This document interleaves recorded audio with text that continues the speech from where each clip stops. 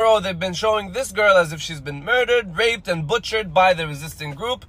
And then two days later, her mom comes out and says, Oh, she's not dead actually, she's being treated. And not only that, she's being treated in a hospital in Gaza.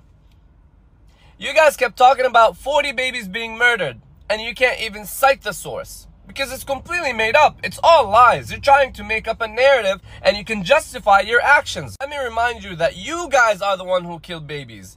You guys are the one who kill women. We have footage, endless footage, of people being taken out of rubble, out of their homes that they've been living for years. And you guys justify it by fake news. So who's the oppressed here?